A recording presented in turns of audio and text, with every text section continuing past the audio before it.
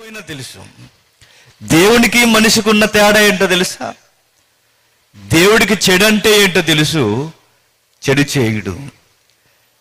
కానీ మనిషికి చెడు అంటే ఏంటో తెలిసి చెడే చేస్తాడు మంచి చేయడు.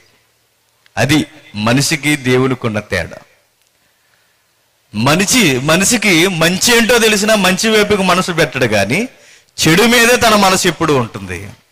అందుకే ఆదాము అవ్వలు చేసిన పొరపాటు ఏంటంటే ఆదాము అవ్వలు చేసిన తప్పు ఏంటంటే చెప్తున్నాడు ఇదిగో వీడు మరలా నిరంతరం జీవిస్తే అంటే ఆల్రెడీ పాపం చేసి పాపంలో కూరుకుపోయాడు. పాపంలో కూరుకుపోయిన ఈ వ్యక్తి నిరంతరము జీవిస్తే పాపంలోనే మనిషి శాశ్వతంగా బందీ అయిపోతాడు. అయితే మనిషి పాపం నుండి విమోచింపబడాలి అంటే మనిషికి ఒకటి అవసరం అనుకున్నాడు అదే ఏంటో తెలుసా? మరణం. అందుకే జీవవృక్షం దగ్గరికి వెళ్ళనివ్వకుండా ఆపాలనుకున్నాడు.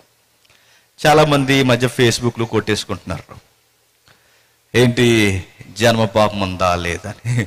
నన్ను అడిగితే నేను అంటాను జనం పాపం ఉందా లేదా అంత తర్వాత విషయం మనందరం పాపులు.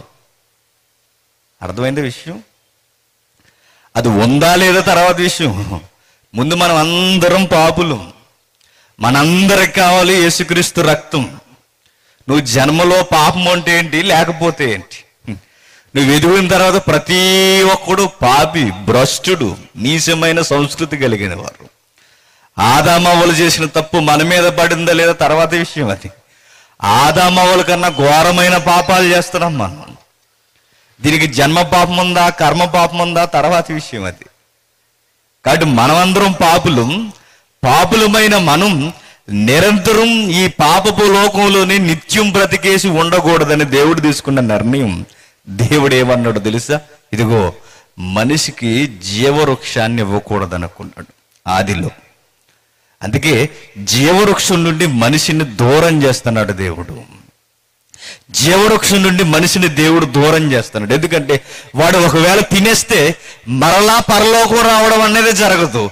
ఇక నిత్యము ఇక్కడే జీవించి ఉంటాడు. అందుకే వీడికి జీవవృక్షం దక్కనివ్వకూడదు అనుకోండి. ఇందులో స్వార్థం ఏముందో చెప్పండి? ప్రేమ తప్ప.